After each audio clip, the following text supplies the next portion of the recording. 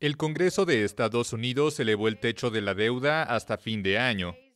Con los 219 votos del Partido Demócrata contra los 206 republicanos, la Cámara de Representantes adoptó el martes un texto que aumenta el límite de endeudamiento en unos 480 mil millones de dólares.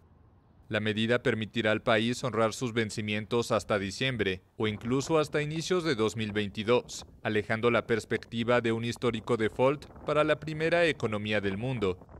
Si no se hubiese logrado la votación, el país habría podido caer en una situación de impago desde el 18 de octubre, según había advertido el Departamento del Tesoro.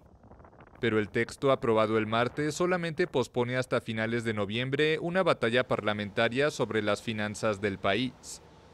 Estados Unidos, que como casi todas las grandes economías lleva décadas viviendo a crédito en términos de gasto público, ya ha elevado repetidamente el techo de la deuda.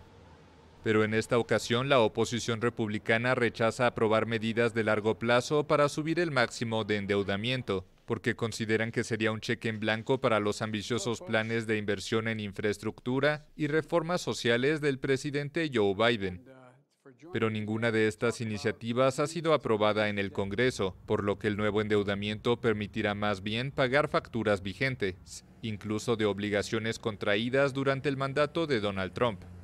Los debates parlamentarios se darán además al mismo tiempo que las negociaciones para aprobar un nuevo presupuesto antes del 3 de diciembre, para evitar un cierre del gobierno y la parálisis de los servicios públicos federales.